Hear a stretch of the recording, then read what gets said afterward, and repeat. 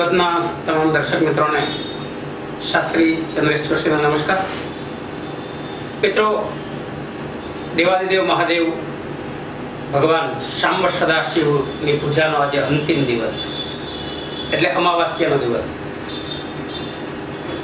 દર સમાસ પિઠોરી અમાસ કુશગ્રાહિણી અમાસ રવિવારનો દિવસ.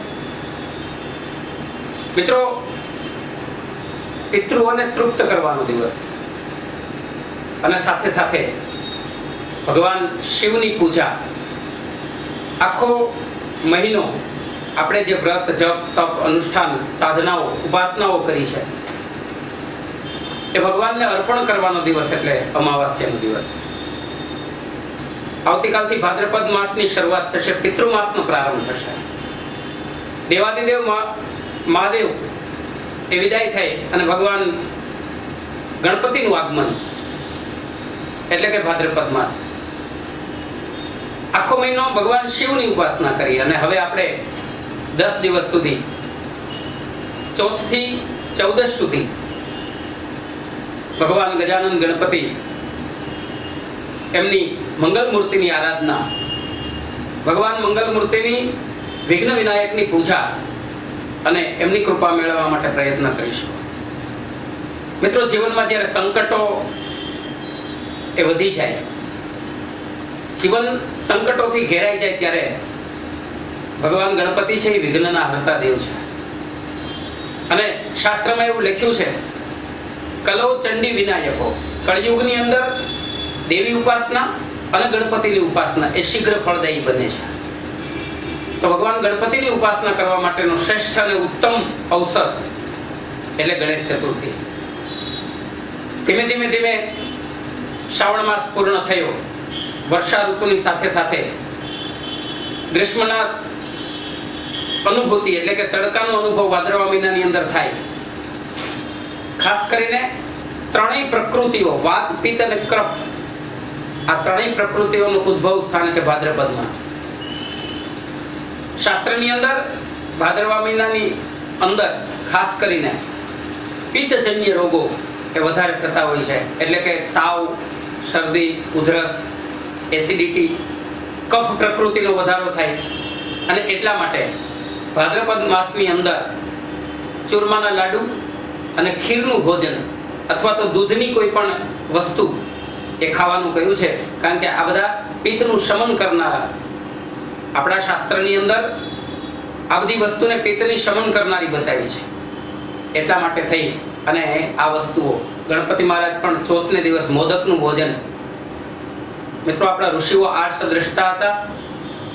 ઋતુઓ પ્રમાણે એમણે ભોજન, આહાર અને પ્રસાદ આપ્યો, જેથી કરીને આપણે એ વસ્તુનું સેવન કરીએ અને આપણું શરીર નિરોગી અને તંદુરસ્ત બને. તો ભગવાન શંભ સદાશિવ મહારુદ્રનો શ્રાવણ માસ પૂર્ણ, એટલે કે આજનો દિવસ નવ નવ બે હજાર અઢાર શ્રાવણ વદ અમાસ શિવ પૂજા સમાપ્ત. દસ નવ બે હજાર અઢાર ભાદરવા સુદ એકમ સાથે સાથે ભાદ્રપદ માસની સાથે રામદેવ પીરના નવરાત્રીનો પ્રારંભ થશે. રામા પીરના નોરતા મૌન વ્રતનો આરંભ થશે. મિત્રો, જીવનમાં મૌનમ સર્વાર્થ સાધનમ. જીવનની અંદર મૌન રહેવું એ બહુ અગત્યની વસ્તુ છે. અને એટલે આપણા ઋષિઓ બને ત્યાં સુધી મૌનનો આગ્રહ રાખતા હતા કે મૌનની અંદર જે તાકાત છે એ બોલવાની અંદર નથી. શરીરની ઊર્જા વધારનાર છે. તો મૌન વ્રતનો આરંભ થશે. એ સિવાય અગિયાર નવ બે હજાર અઢાર ભાદરવા સુદ બીજ એટલે સામવેદી શ્રાવણી. સામવેદી બ્રાહ્મણો જે છે, સામવેદી જે સંતો છે, સ્વામિનારાયણ સંપ્રદાયની અંદર, એ બધાને જનોઈ યજ્ઞોપવિત બદલવાનો દિવસ એટલે મોઢ ચાતુર્વેદીય સામવેદી બ્રાહ્મણો, એમને પણ આ દિવસે યજ્ઞોપવિત ધારણ કરવાનો દિવસ છે. પછી તારીખ બાર નવ બે હજાર અઢાર, હરિતાલિકા ત્રીજ, કેવડા ત્રીજ, ગૌરી ત્રીજ કહેવાય. ભગવાનને કેવડો અર્પણ કરવાનો? શિવજીની પૂજા. અને તેર તારીખે ગણેશ ચતુર્થી સંવંતસરી છે. મિત્રો, ગણપતિની ઉપાસના. ગણેશ ચતુર્થી. દસ દિવસ સુધી ઘરે ઘરે અથવા તો મોટા મોટા પંડાલોની અંદર ભગવાન ગણપતિની સ્થાપના થશે. ત્યારે ગણપતિની મર્યાદા એ જળવાવી જોઈએ. રિદ્ધિ સિદ્ધિ સહિત ગણપતિ મહારાજનું સ્થાપન થાય મંગલ મૂર્તિનું સ્થાપન થાય, ષોડશોપચાર પૂજન થાય. બપોરે રોજ ભગવાનને ભોગ લગાવાય, નૈવેદ્ય ધરાવાય, મોદકનું ભોજન ધરાવાય. પણ સાથે સાથે ભગવાન ગણપતિની ઉપાસના, ગણપતિ અથર્વ શીર્ષના પાઠ સંકટ નાશન ગણેશ સ્તોત્રના પાઠ, ઓમ ગમ ગણપતય નમઃ, આ બધા મંત્રોનો જપ કરવામાં આવે. તો જીવનની અંદર સર્વ સિદ્ધિ એ પ્રાપ્ત થાય છે. કારણ કે ભગવાન ગણપતિ એ રિદ્ધિ સિદ્ધિના દાતા છે. અને જેમને રિદ્ધિ સિદ્ધિની જરૂરિયાત છે, જેમને જીવનની અંદર જ્ઞાનની જરૂરિયાત છે, જેમને વિદ્યાની પ્રાપ્તિ કરવી છે, એમણે ભગવાન ગણપતિની ઉપાસના આ સમય દરમિયાન કરવી જોઈએ.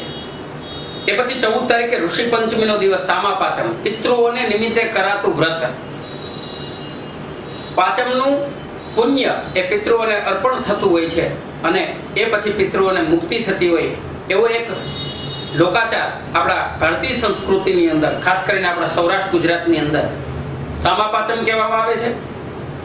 પોતાના ગયેલા વડવાઓ પિતૃઓની પાછળ અને ખાસ કરીને મહિલાઓ આ વ્રત એ કરતી હોય છે કારણ કે આખું વર્ષ રજસ્વલા ધર્મના જે કંઈ પાપ લાગ્યા છે એની નિવૃત્તિ માટે બેનો ખાસ કરીને સામા પાચમનું વ્રત સાંબો ખાઈને કરતી હોય છે.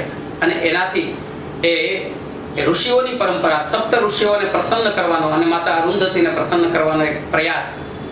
એટલા માટે ઋષિ પંચમીનો દિવસ અને પંદર તારીખે છઠનો દિવસ બલરામ જયંતિ, સૂર્ય ષષ્ઠી સાવા પાચમના પારણા, ઋષિ પંચમીના પારણા. તો મિત્રો, ઋષિ પંચમીને દિવસે ઘણી જગ્યાએ ખેતરની અંદર નિંદામણ કરતા નથી. એ સિવાય આપણા વડીલોને તર્પણ કરવામાં આવે છે. ઘણી જગ્યાએ મહાલય શ્રાદ્ધ કરવામાં આવે છે. આવા ઘણા બધા પ્રયોગો અને ખાસ કરીને વિષ્ણુ પૂજા કરવામાં આવે છે. ઋષિ પંચમીને દિવસે સપ્તર્ષિઓનું પૂજન કરવામાં આવે તો પણ શ્રેષ્ઠ ફળ એ પ્રાપ્ત થતું હોય છે. તો મિત્રો, આ પંચાંગ જોયા પછી આજનો ચંદ્ર સિંહ રાશિની અંદર છે ત્યારે મેષથી લઈ અને મીન રાશિ સુધીના જાતકો માટેનું આ સપ્તાહનું રાશિફળ જોઈ લઈએ. પ્રથમ જોઈએ મેષ રાશિ. પાંચમા સ્થાને ચંદ્ર સૂર્યની યુતિ છે. સંતાનોના ભવિષ્ય માટે વિચારતા હો તો પ્રયત્ન ચાલુ રાખજો. નિર્ણયો આવવામાં થોડો વિલંબ થાય, પરંતુ નિર્ણય સફળ થશે. વડીલ વર્ગનું માર્ગદર્શન સલાહ ઉપયોગી બનશે. બહેનોને શિક્ષણ કાર્યમાં રચા બચા રહેવાનું બને અને વિદ્યાર્થીઓને શિક્ષણ ક્ષેત્રે સારી પ્રગતિના એંધાણ એ પ્રાપ્ત થશે. વૃષભ રાશિ, બહુ ચોથા સ્થાને સૂર્યચંદ્ર, ખેતીવાડી, જમીન, સ્થાવર મિલકતના કામ બહુ આસાન બને. ઉદ્યોગ ક્ષેત્રે ખૂબ જ અગત્યના નિર્ણયો લેવાય. નોકરિયાત વર્ગ માટે બદલી અને બઢતીના પ્રશ્ને અસમંજસ વર્તાય. બહેનોને ગૃહ ઉપયોગી ધંધામાં ખૂબ જ સારી આવક પ્રાપ્ત થાય અને વિદ્યાર્થીઓને માતૃપક્ષેથી સારો સહયોગ મળતા કામ આગળ વધે.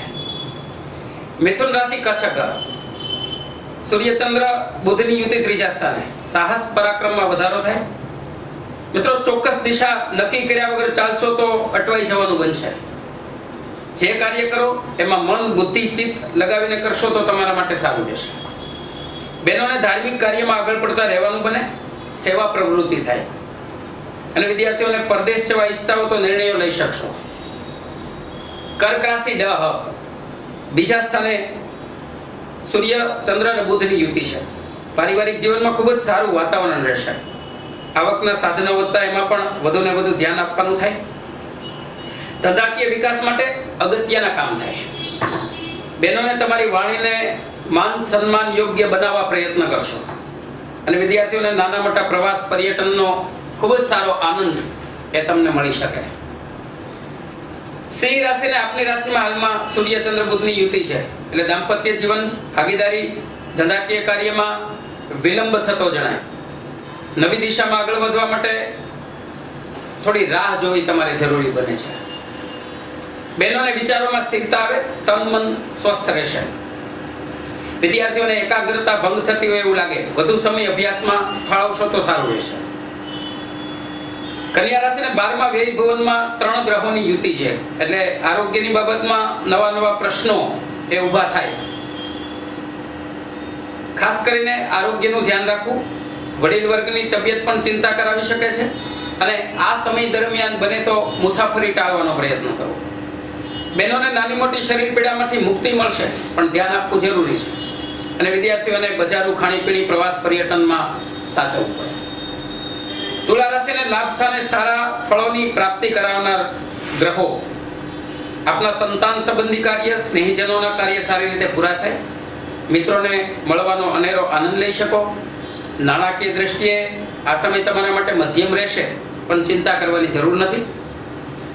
બહેનોને કાર્ય સંબંધી યશ ઓછો મળે, પરંતુ તમારું કાર્ય ચાલુ રાખવું જરૂરી છે.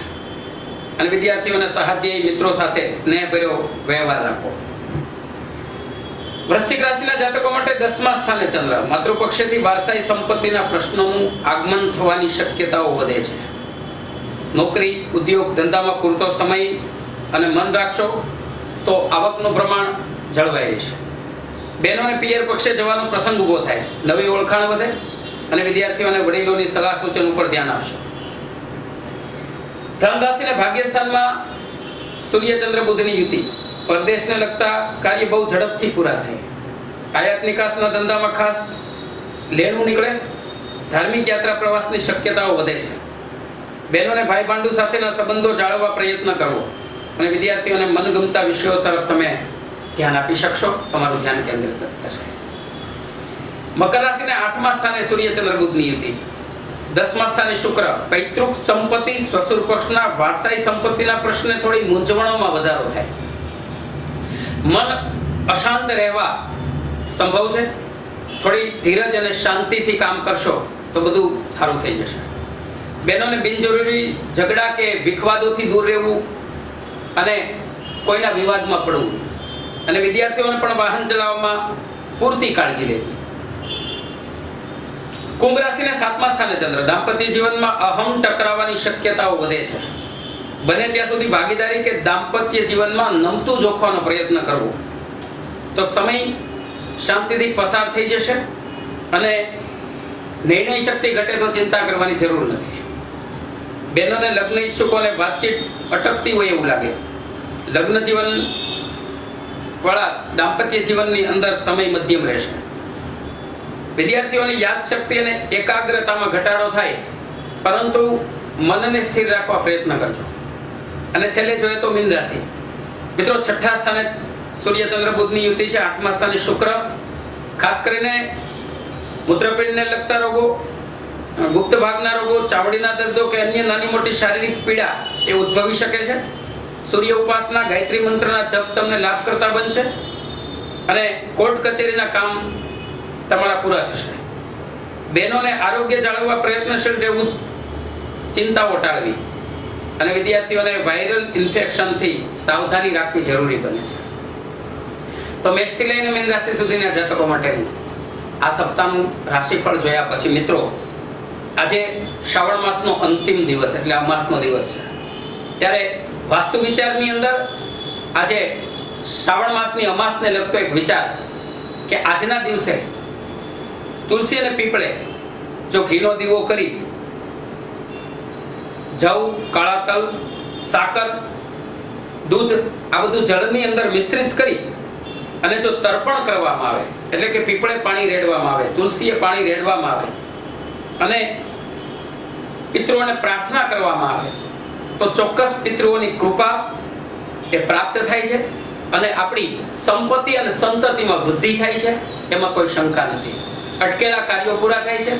તો મિત્રો, જવ કાળા તલ એ સિવાય સાકર અને દૂધ એ જળની અંદર મિશ્રિત કરી અને પીપળે અને તુલસીએ એ પધરાવવામાં આવે. અને ખાસ કરીને પીપળાની પાસે ઊભા રહી અને પિતૃઓને જો પ્રાર્થના કરવામાં આવે, તો ચોક્કસ પિતૃઓની કૃપા એ આપણા ઉપર એ વધતી હોય છે અને આપણા અટકેલા કાર્ય એ પૂર્ણ થતા હોય છે. ગ્રહોની પીડામાંથી પણ મુક્તિ મળતી હોય છે અને ઘરની અંદર સુખ, સંપત્તિ અને શાંતિનો વધારો થાય છે. તો મિત્રો, આજનો દિવસ એ પુષ્કરાહિણી અમાસ છે. દર્ભ લેવા માટેનો પણ ઉત્તમ દિવસ અને પિતૃઓને રાજી કરવાનો ઉત્તમ દિવસ છે.